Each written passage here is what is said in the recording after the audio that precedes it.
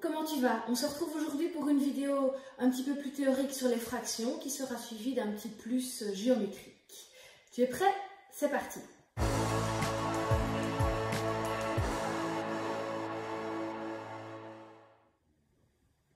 Aujourd'hui, on va revoir les fractions.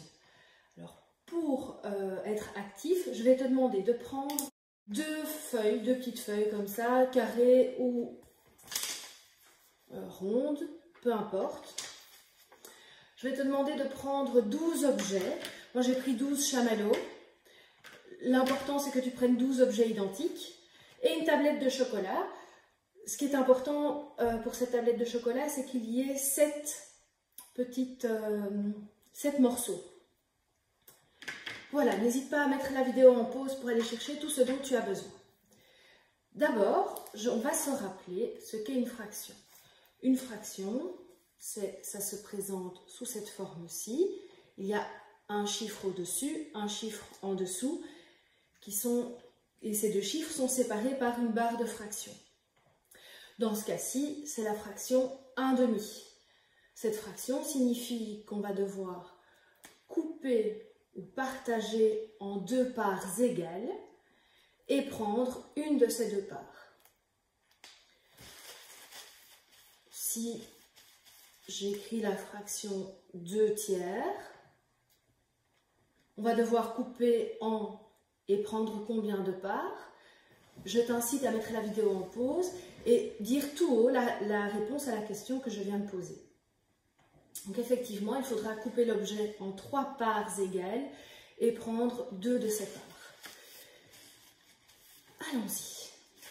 Alors, je vais te demander dans un premier temps de prendre le papier carré ou rond, peu importe, que tu as. S'il est rectangulaire, ce n'est pas un problème non plus, tu fais avec ce que tu as.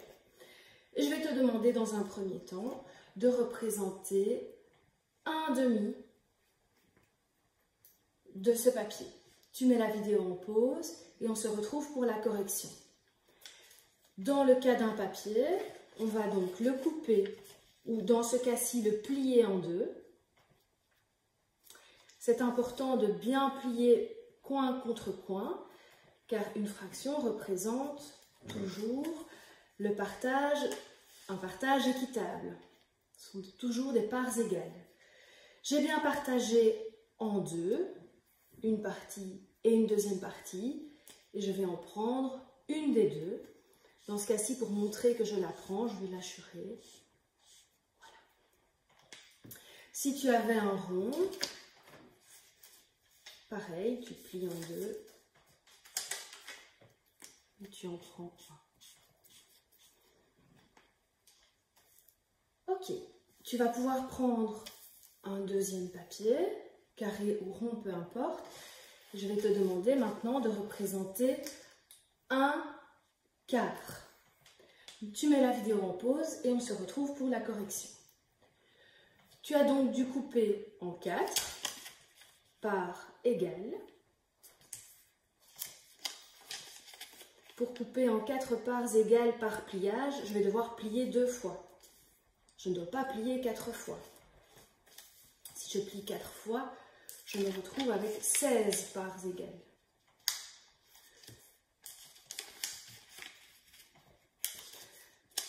Et pour montrer que je ne prends qu'une part, je vais assurer une des quatre parts. Avec ce même morceau de papier, tu le gardes et tu vas maintenant représenter deux quarts. Tu mets la vidéo en pause et on se retrouve pour la correction. mes morceaux de papier étaient déjà pliés en quatre. Euh, il y avait donc déjà quatre parts égales. Cette fois-ci, je dois en prendre deux. Il y en a déjà un de pris, un deuxième, pareil pour ce morceau-ci. Voici la représentation de deux quarts. On a bien pris deux quarts dans ce cas-ci et deux quarts ici. Tu peux remarquer ici, est-ce que tu te souviens pour ces deux papiers-là, quelle était la fraction représentée? C'était un demi. Tu remarques que un demi et deux quarts c'est la même chose. Ce sont des fractions équivalentes que je coupe en deux et que je, prends, et que je prenne une partie ou que je coupe en quatre et que je prenne deux parties, c'est la même chose. Maintenant, je vais te demander de prendre le, les tablettes de chocolat. je vais te demander de me montrer 3 septièmes de cette tablette de chocolat. Si tu n'en as pas, je te propose de faire un dessin. Mais attention, les parts de chocolat doivent être égales. Tu mets la vidéo en pause et on se retrouve pour la correction. Je dois couper en 7. je vais couper mon morceau de chocolat en 7 parts égales.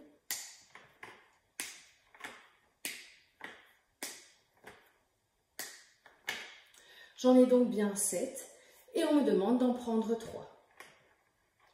Voici 3 septièmes. Tu vois qu'il reste 4 septièmes, l'unité totale, la totalité de ma tablette de chocolat, c'est 7 septièmes, c'est mon unité.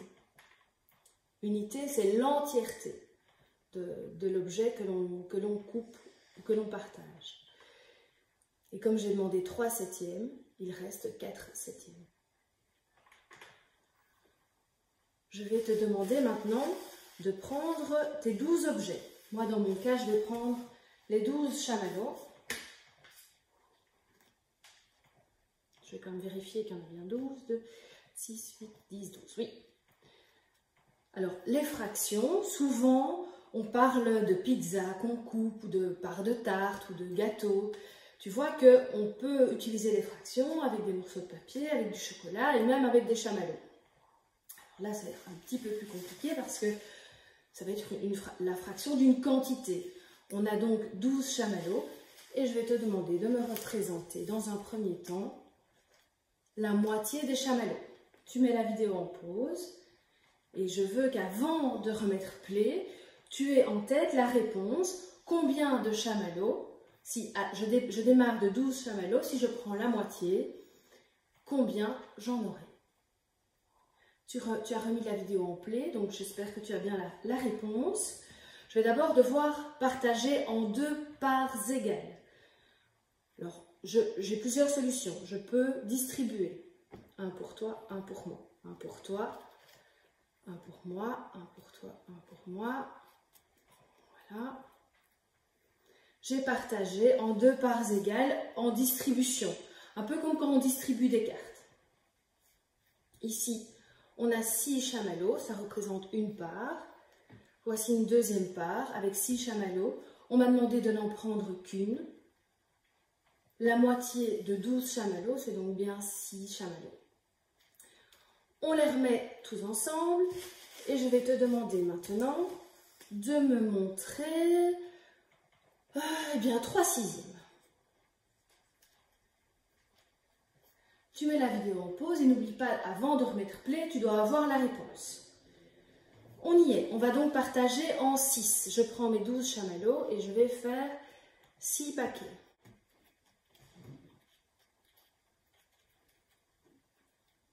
Si je vais trop vite, n'hésite pas à mettre pause pour prendre le temps d'intégrer tout ce qu'on est en train de dire. J'ai bien partagé en 6 parts égales et on me demande d'en prendre 3. Une, deux et trois parts. J'ai donc 6 chamallows. Tiens, c'est la même chose que la moitié. Eh bien oui, car 1 demi de 12 ou 3 sixièmes de 12, c'est une fraction équivalente. Je remets tous mes chamallows au centre de la table et on va faire le dernier exercice avant le petit plus géométrique. Hmm, qu'est-ce que je vais te demander? Eh bien, je vais te demander trois quarts. Trois quarts de 12 chamallows. Tu mets la vidéo en pause et tu mets play uniquement quand tu as la réponse. On a donc demandé de partager les chamallows en quatre parts égales. Je, je les prends tous et je vais les partager en quatre parts égales. Voilà, dans chaque paquet, j'ai donc bien trois chamallows. Et on me demande de prendre trois de ces parts. Une, 2 et 3. J'ai donc 9 chamallows, 3 quarts de 12, ça fait 9. J'espère que tu as bien tout compris. Si tu as besoin de revenir un petit peu en arrière et recommencer les manipulations, n'hésite pas. On se retrouve tout de suite pour le petit plus euh, géométrique.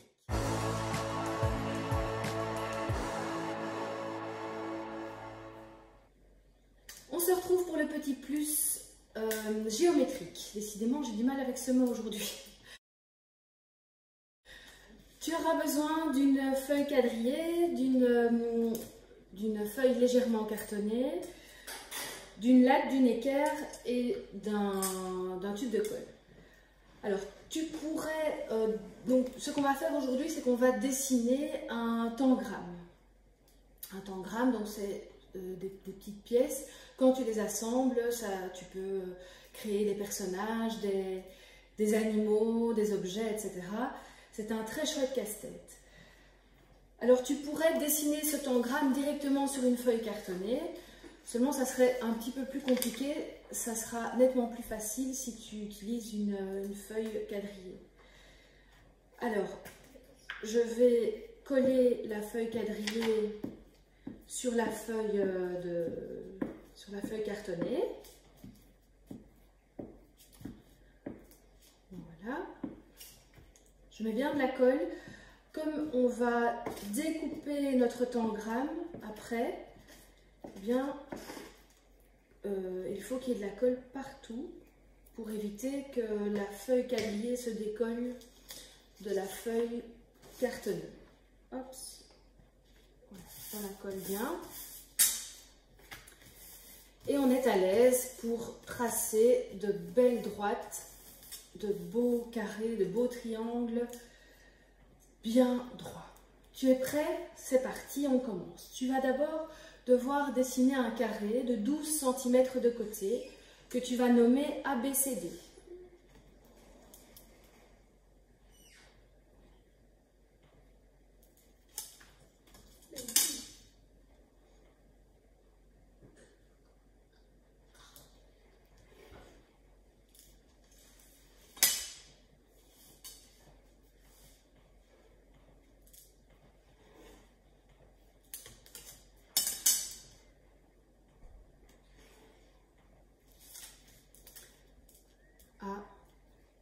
B,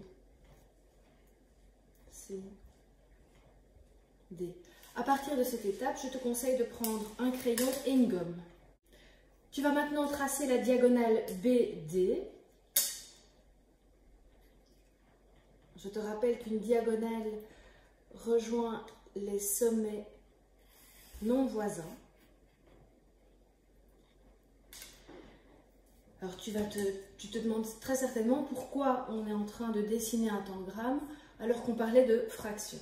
C'est parce qu'un tangramme est composé d'un carré qui est ton unité et ce carré va être divisé. Alors ici on vient de le diviser, de le partager en deux parts égales.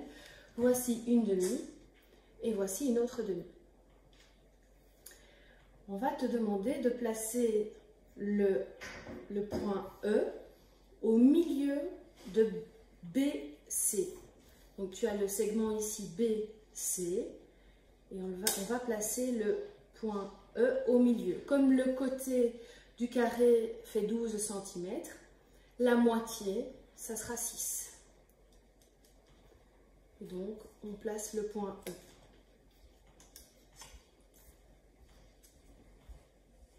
Ensuite, tu vas au côté CD, le segment CD, et tu vas placer au milieu de ce segment CD le point F.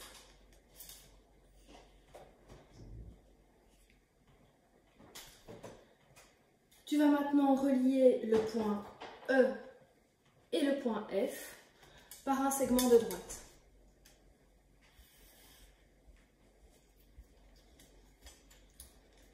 Ici, tu as un huitième de ton carré de départ. Voici un huitième de l'unité.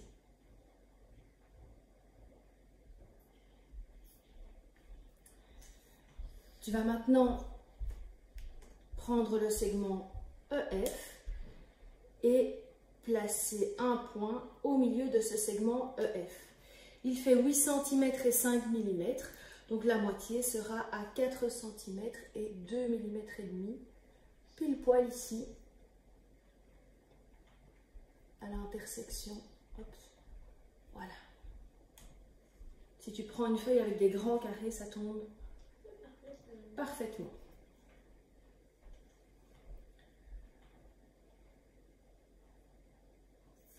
Et ce point, on va l'appeler G. Tu vas maintenant relier A et G par un segment.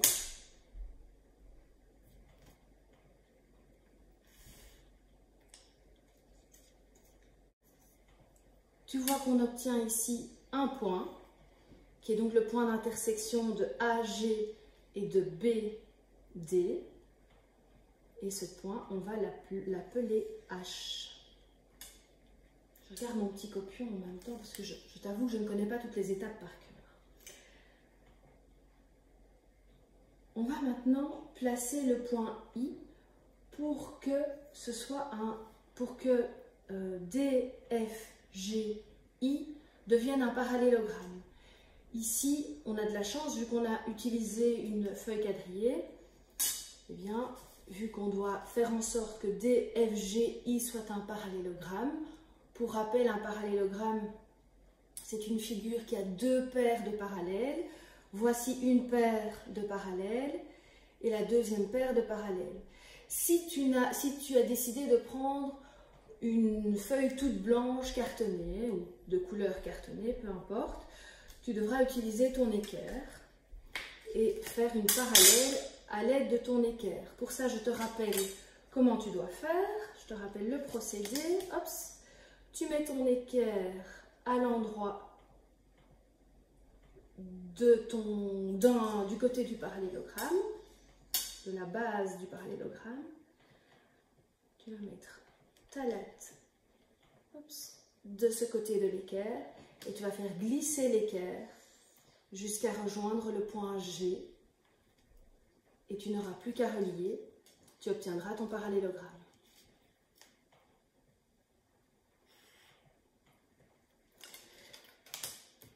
Nous avons ici donc le point I.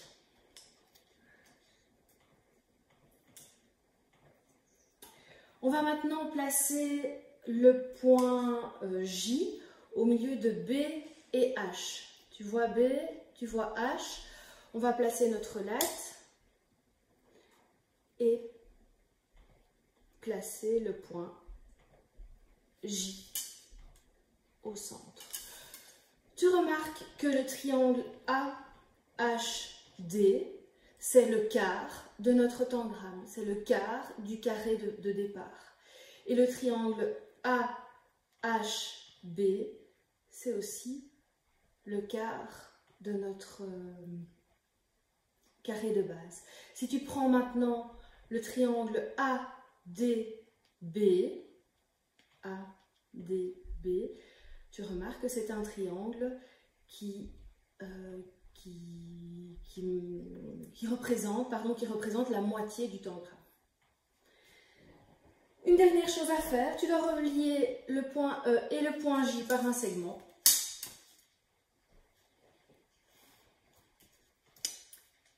tu as ton tangramme. Tu n'as plus qu'à le découper. Oh, j'ai oublié une paire de ciseaux. Tiens, je vais la chercher. J'ai ma paire de ciseaux. On va pouvoir le découper, découper toutes les pièces.